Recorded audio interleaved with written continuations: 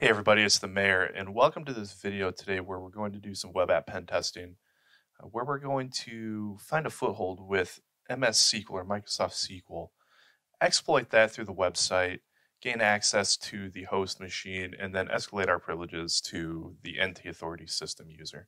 So over here on the screen, you see that we've got some information. We have info.sql.site. This is going to be an eLearn security slash INE uh, SQLi lab.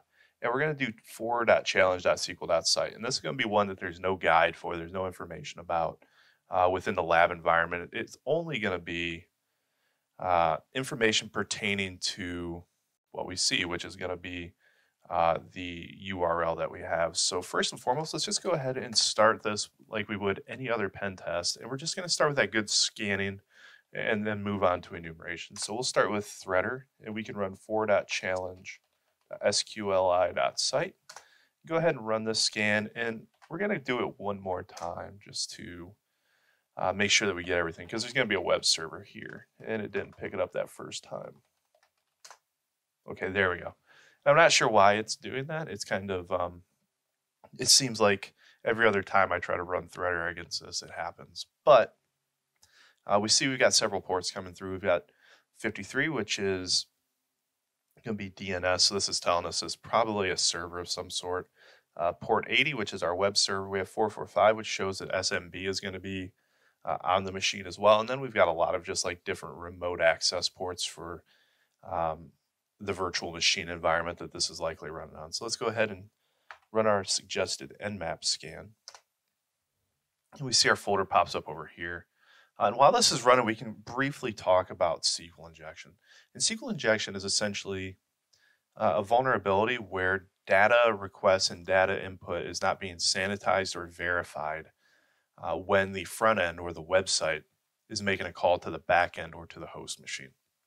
So in a secure SQL environment or structured query language database environment, uh, typically the developer is going to write in some rules for filtering different characters, different requests, and the like. However, if the database is vulnerable or does not have those filters uh, and, and, validation put into place, uh, the malicious attacker may be able to issue arbitrary commands to the database itself. And oftentimes it's going to come through um, simple checks using things like uh, you know semicolons or single quotes or double quotes. It's kind of going to look a lot like what you would originally see with cross-site scripting, and it's kind of the common uh, you know the common denominator here where we're trying to evoke an error of some sort within the web application to tell us that hey something here is vulnerable, something here is uh, capable of being broken. So we got our results back and we see that we've got DNS, like we said. On port 80, we have um, IIS 7.5. This is an older IIS, but we're not going to attack or attempt to attack the um, the version specifically because we do know that this is a SQL injection lab. Additionally, we get the Windows machine ID or Windows name from the NetBIOS. We see that 445 is open, which is going to be SMB, and we get our Windows Server 2008 version, which is pretty out of date. Uh, this lab is a bit old, but really just the important part here is the, you know, kind of the logic and processing uh, and, you know, the foundations of what we're seeing. We get a bit more information. We see there's a work group. Uh, we see message signing is enabled but not required. This tells us that we might be able to enumerate uh, the SMB share if we really wanted to, which again, we're going to skip on that today because we know that this is a SQL lab. So we'll go ahead and just close this up for now. We won't need these results anymore. And we're going to open the page. So I've already got it open here. We see that it's called Poema. It's a reading club for introspective people with social issues. And I apologize if you hear the sniffles. My nose is kind of stuffed up today. I'll try to keep it to a minimum. So what we want to do anytime we see a website like this, and especially since we know kind of what the, the premise of this website is, is we want to just kind of scroll around a little bit. And if you look down in the bottom left-hand corner, you're going to see index.php hash. This means that we're probably not going to be able to click on that link or get anything from it. Additionally, we can scroll down. We see some other things. We see read more. We can click on that. We see there's comment page. We can click on comments. And then up here we have recommended books, so we'll go ahead and right click that. We have photos, uh, and then we have an about page. Additionally, we have a search bar here. Just for fun, um, let's go ahead and turn Burp Suite on. Now I am using Burp Pro. Uh, I've got this from work. Uh, but you can everything we do here today, if you're following along, can be done with Burp Community as well. We're not going to use any of the Pro features. It's just what I have installed on my Kali machine. So just for fun, let's just show you a quick cross-site script. So if you look here, we only get a limited amount of characters. It looks like we get 10 characters in total, which is going to be pretty tough to get off, uh, you know, a cross-site scripting attack. But what we can do is just simply go ahead and put in a couple characters here, and we're going to catch it with burp. So what we can do now is uh, just go ahead and put our um, our payload in here just for fun again, this isn't, you know, a, a SQL injection, but it does show you that there's some other vulnerabilities on the page. And we'll just go ahead and forward that off to the website. And you see that we get a decent little cross-site scripting reflected here. Um, and up here in the top, you can see where the payload breaks, and we can see that down here as well. So if we wanted to at this point, now that we have the query, we could just go ahead and type that same payload out here. Again, just a little bit of fun, just playing around uh, and showing you that even when you have a lab that's targeting one specific vulnerability, that there might not be other vulnerabilities available. So here we see that we have S equals the Coliseum. This tells us that this is querying information from somewhere. So we see question mark S equals Coliseum. We can just try to break this really quick. Uh, we're going to turn intercept off for now. And we see what we get is just a reflected uh, or a reflection. This to me is a vulnerability. You don't want your URL reflecting information into your page. That's not the best idea. Um, so, just to check and just kind of confirm to see if anything else happens here, uh, we can just throw some quick um, SQL payload in here. And what we're building here is a Boolean statement or a true false statement. So we're breaking the um, the request essentially and saying the request or one equals one. And this is saying either or has to be true in order to get the results. So if we hit enter, the problem is we're just seeing that reflected here. So we're probably not going to get any results from this. If we scroll down, we do have the read more in the comments. We'll check those out next. And here we have a comment field. Um, naturally, we can go ahead and try to break this as well or see if we are able to inject a payload. I do know that this is also vulnerable to reflected cross-site scripting. Uh, but just to completely um, save some time, this is not going to be uh, vulnerable to um, SQL injection at this time. So we're going to go ahead and skip that. And here's kind of more or less the page that we want to be on. So we see we've got esotericism as principal and as way. And we get to read more, and you see viewbook.php ID equals one. So let's go ahead and click this. And this is what we're going to want. I'm just going to close some of these other tabs.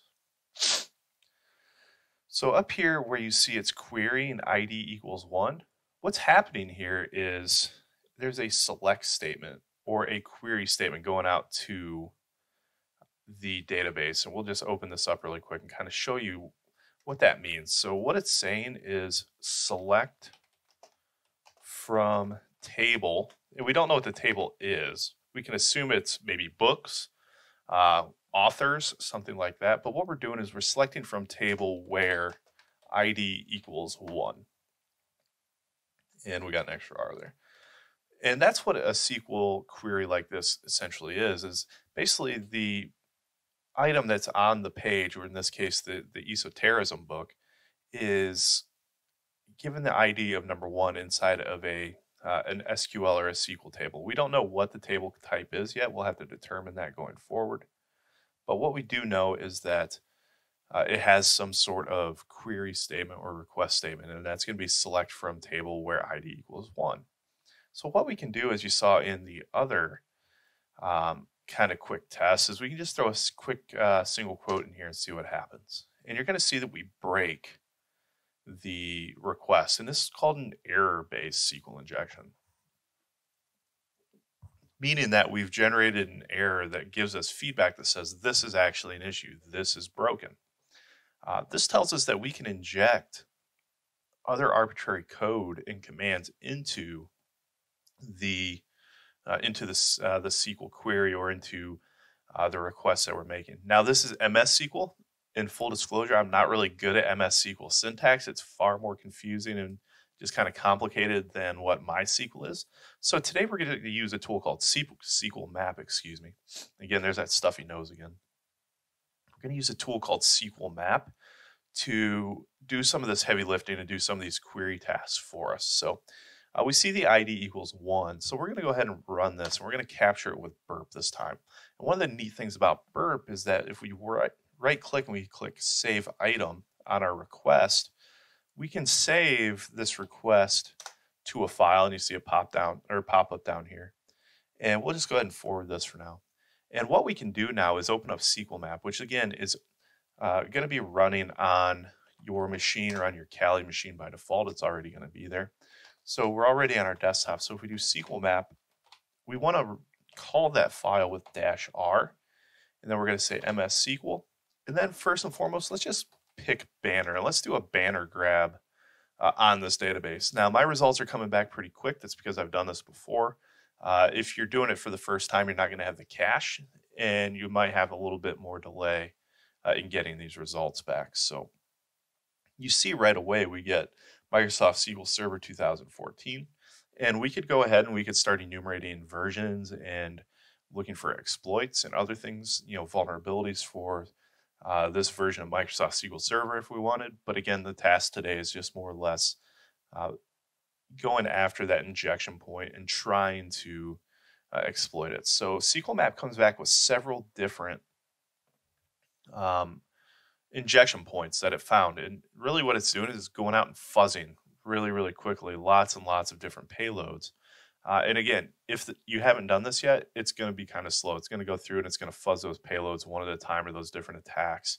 Uh, in this case, I've done it before, so it's coming pretty quick. And it makes it nice for the video. You don't have to sit here for three days uh, watching MySQL or a SQL map do its thing. So we see we have a Boolean base. That's going to be your true false statement. You see that right here. Um, ID equals 1 and 9816 equals 9816. Uh, we have an inline query here, and this again is just um, putting a lot of characters and just kind of different uh, strings in here to generate uh, errors or, or queries. Uh, we have an error based here. This one would generate an error in the browser, and we can actually go ahead and just copy that, and I'll show you what that looks like. And this is going to generate um, an error in the uh, web browser when we fire it off. So we should see that. We'll forward this. And we see that it gives us an error. Again, error-based SQL injection. Uh, we're going to turn off intercept, go back one. We also see we got some stack queries here. Uh, not going to be something we're really going to worry about. And then we got a generic union query. Union is going to try to uh, connect or combine results from different um, tables into one result. So we see we've got union all select and then all these nulls. This is trying to enumerate columns that, that the table has. So we see one, two, three, and then all of this is going to be a column. So that's going to be four, five, six. So this is telling me that this table likely has six columns.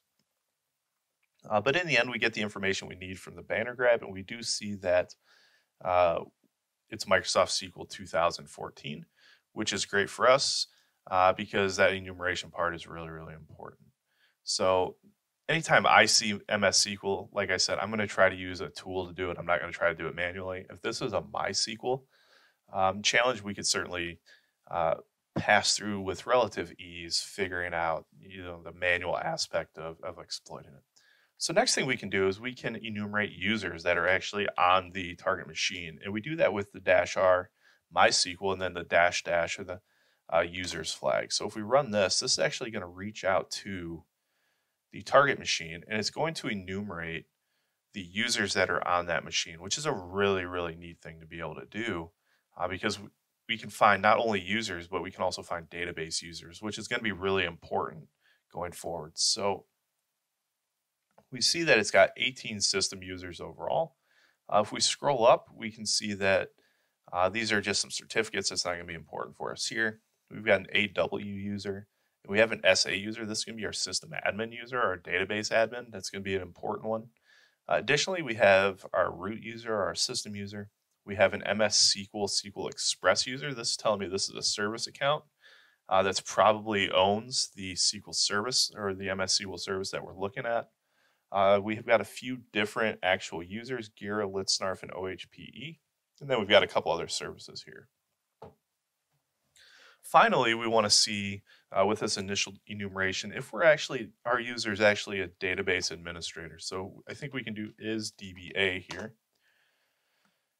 And this is going to tell us testing if current user is DBA, again, database administrator, and the uh, current user is. So this is telling me that we're likely the SA user that we saw up here, which is good because this is going to allow us to use some um, some really neat native functionality of SQL Map here in a little bit. So when we talk about SQL Map, there's a lot of value in some of the queries it can run. So for instance, if we want to see what the databases are, we can do dash DBS. This is going to reach out to uh, the, the SQL service or the SQL server, and it's going to query the databases that are on uh, on that on that machine or on that service. So we see we've got some AdventureWorks, we got C- CMS management, e-commerce, employees, master model, MSDB, and TempDB are typically going to be uh, MS SQL default tables or default databases. Uh, they could have user credentials. They could have uh, other information that's going to be really valuable to you. Those are going to be ones that you want to check out. Uh, in this case, I will uh, going through this lab last night. I wasn't able to get a whole lot of information about it. Uh, we do see we've got a Poema database. So let's go ahead and just, since we're on Poema here, let's go ahead and enumerate that. So we're going to do dash And then we're going to spe uh, specify Poema. And we're just going to check tables. And in the meantime, I'm going to do threads equals 10 make this go a bit quicker. And so here we see that we've got uh, two tables. We've got books and we got club members. So now what we want to do is enumerate one of those. And in this case, we're just going to enumerate the club members. So let's go T club members. And then we can, just for showing kind of how all of this works, we can just enumerate the columns and see what the columns on that table are. And in this case, the columns come back with nothing uh, with just a bunch of garble, right? So we might be able to use the hex flag here to get that to um, adjust. And in this case, it's not working. Sometimes this happens. Uh, it's not the end of the world, but what we can do is just use the dump command and see if we're able to dump the contents. And we're not getting anything here again, you see. Um, so what we can try next, or actually it says all columns provided are non-existent for some reason. Uh, when this happens, I want to try the force pivoting command and see if this gives us any help. And you just kind of have to fire for effect, but in this case, we're not getting anything. Um, let's go ahead and see if there's another table. And I know there's a few different tables here that we can try. So or a few different databases, excuse me. So let's go ahead and try uh, e-commerce books too and see if we get any better luck.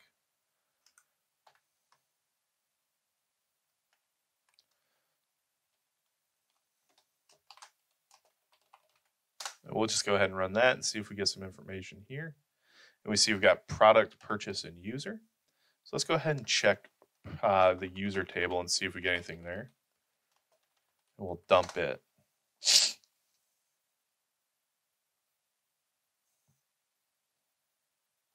Okay, and there you go. We actually get some users. So if there was a login page for this website, we would see that we've got um, usernames and we've got some passwords available as well. Uh, and just kind of show you the simplicity of using SQL Map to dump those databases. Alternatively, you could do all of this manually if you went through the time of continuing to create uh, requests through the website, you know, whether you're doing it through Burp Suite, whether you're doing it through the URL bar or the address bar. You could do this manually over time uh, and, and, just continue to enumerate that. But in the interest of time and just kind of showing off SQL Map today, here's how we can dump and gain access to that data. Another neat uh, opportunity or, or, or tool within SQL Map is something called OS Shell. So if we do this, and we just do tac tac OS shell, and then we run our threads or however you want to do it, this will give us a semi-interactive command shell on the machine if XP command shell is enabled in the database. which more uh, likely is probably not going to be the case. But um, in this case, we're talking about a database that's vulnerable, hasn't really been secured well as it is. So it could be that the database administrator is, um, you know, inexperienced, inept, uh, just not good at what he's doing or what she's doing. And so, likely, if they haven't provided for data sanitization, they may not have disabled XP command shell. And as you can see, we have OS shell here. This is telling us that we have, uh, a, you know, possibly have a command shell. And simply, uh, if we just do who am I, we run who am I, we should be able to get some feedback back.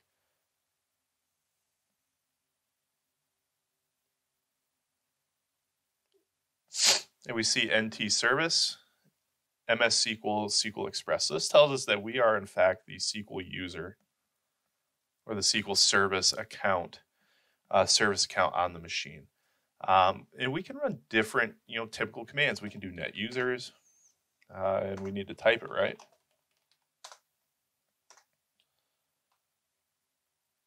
And you see that we get the net users back, and we get uh, a bunch of different IIS users. This is common when you're running uh, vHosts and whatnot on the machine. So this is telling us there's probably a few different uh, web servers running on this uh, on this Microsoft Server uh, system.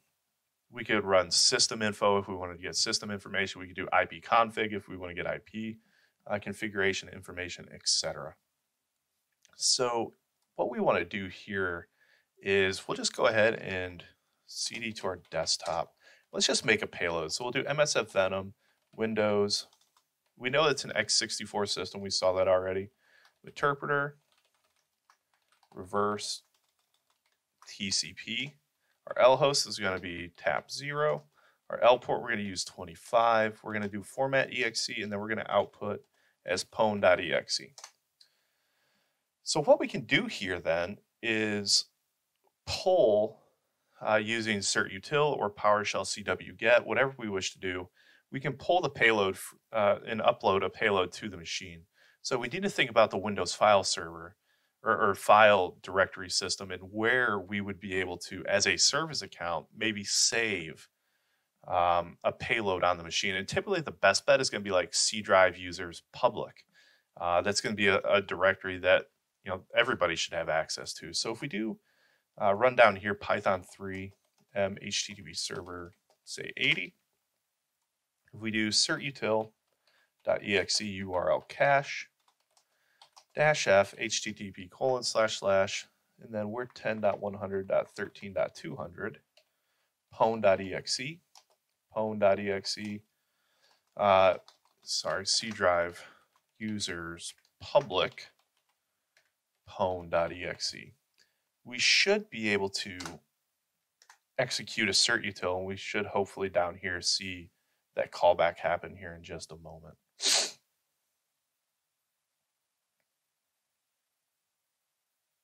Hopefully. There you go. We see that we get the callback. Uh, it grabs the file a couple times, which is fine. Uh, and we see that it has completed successfully. So now if we just dir that directory quick,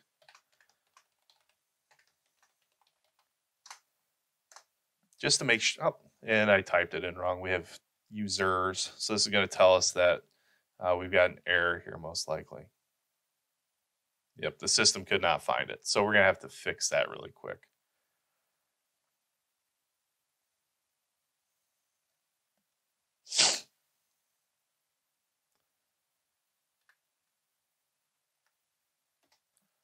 My keyboard sometimes hits the R and the T button twice while I'm typing. And I've tried to fix it. I've tried to clean it out, uh, but it doesn't work. But here you go. You see that our pwn.exe file is successfully here. So the next thing we want to do is just clear this in MSF Venom, or MSF console, excuse me.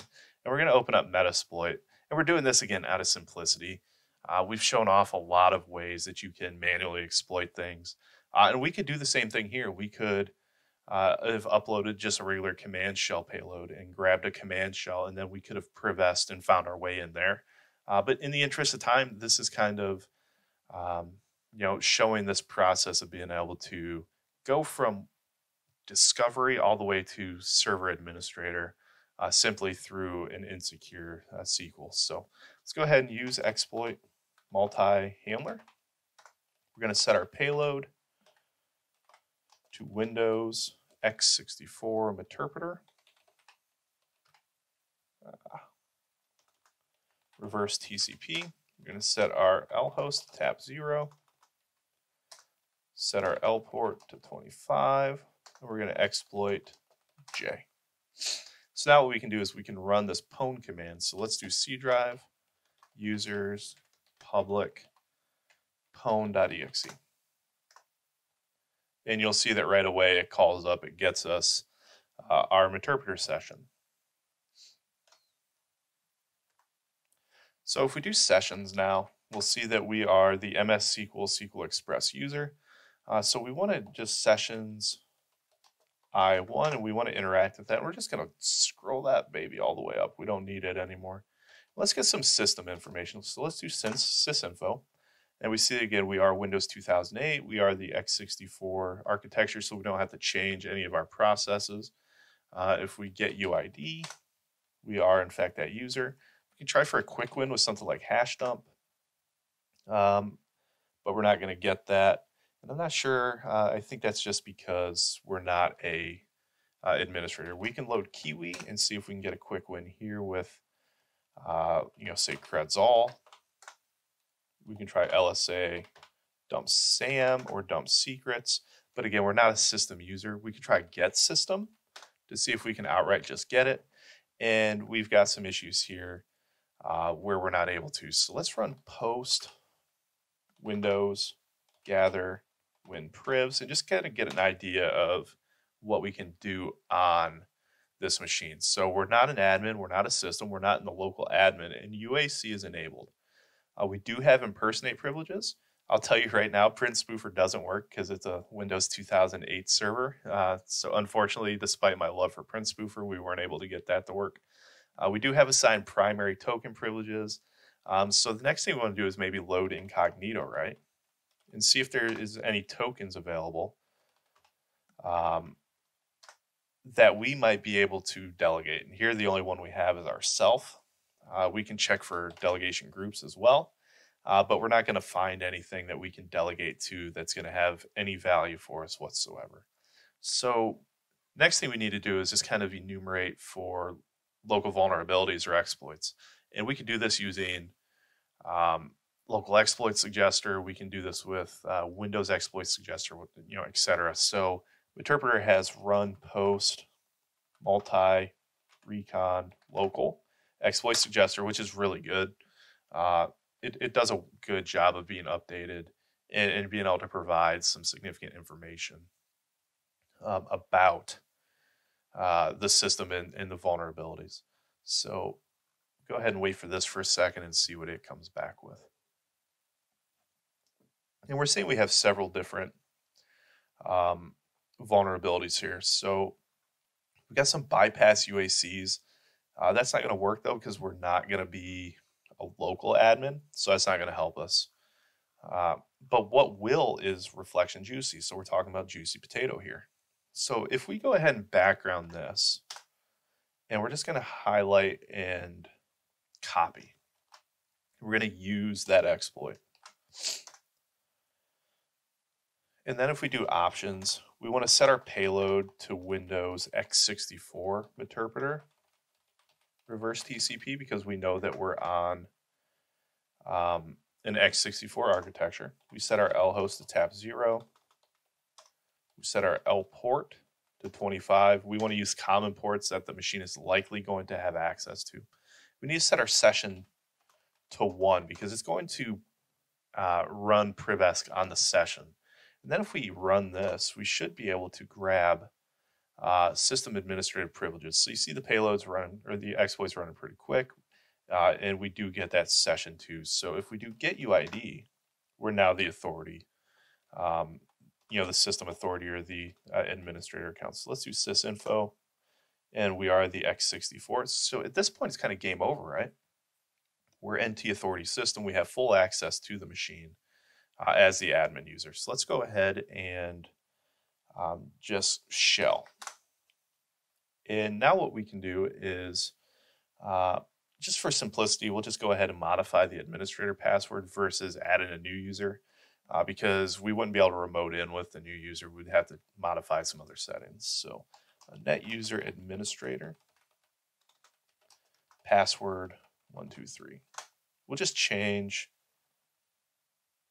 Oh, we spelled it wrong.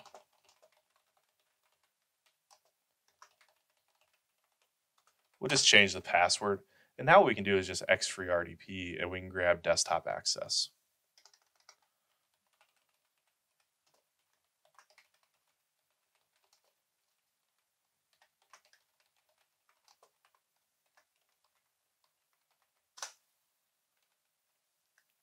Ten two hundred thirteen dot ten. So we did something wrong here. What do we do wrong here? Uh, well, let's go ahead and back out and we'll run get GUI. It will enable remote desktop if it's not already. So it says it's already in the service, service startup mode.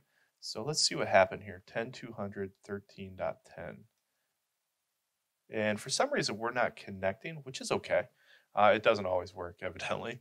Um, but something else is going on. I'm not sure what it is. 10.100. It's, it's my brain, it's not the machine. Okay, so let's go ahead and do this. So we have yes. Uh, and we should get our remote desktop, uh, which closed right up for some reason. And it's closing up again. Um, I'm not sure what's going on there. Uh, that's okay though. We can always just kind of toy around a bit more. So let's shell again.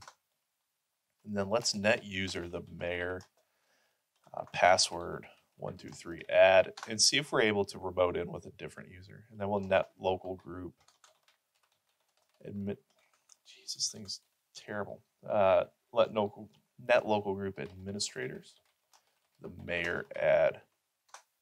We'll see if we can remote in with the mayor account and see if that makes it work right.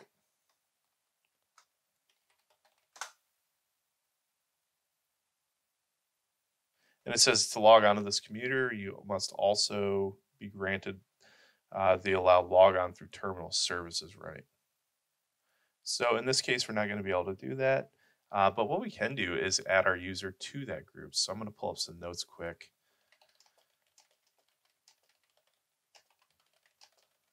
And we can just go ahead and run that command on the host machine.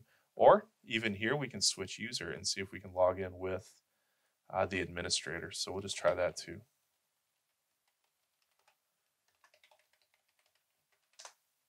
And it just dies out for some reason. Okay, so what we can do is pop down here and we're going to see if we can run a command uh, that will allow the mayor to log in. And I believe it's going to be netlocal group remote desktop users, the mayor add. And now let's see if we can log in with the mayor.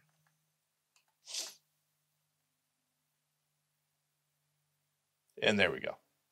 So now we're logging in. Uh, to the desktop environment as our uh, created user, and we should have full access to the server environment and everything else uh, from here on out. So really for us, this is basically game over against the target. Uh, and we do see right away we get access to the server manager, um, which is you know really good for us. And so we can come down here. We see that we have access to the DNS, the file services, the web server. Uh, we have you know, access to all the local users, which is what I'm looking for now. Uh, and you see that here's our the mayor account, and we are in the server administrator uh, with access to that. So that is how you go from simply searching and checking out a website, finding a SQL injection with MS SQL that has uh, you know modification privileges essentially uh, for the command shell and we're able to upload a shell, execute it, gain access to the machine or to the host, it, create a new user in this case versus logging in as the administrator and get in that desktop environment. I truly, truly hope that you guys have learned something today. Uh, it's been a pleasure to be able to do this uh, walkthrough with you guys and kind of show this off. Uh, it's been a bit since I've done a video, so uh, I've been looking forward to doing one and finding one to do it about. So if you have any questions, please ask them in the comments. Alternatively, you can also hit me up on Discord. Happy to ask, uh, answer any questions and to have you guys there as well. Uh, but until next time, I'm the mayor. Thank you so much for stopping in. I hope you all have a great day and stay safe and happy. Take care.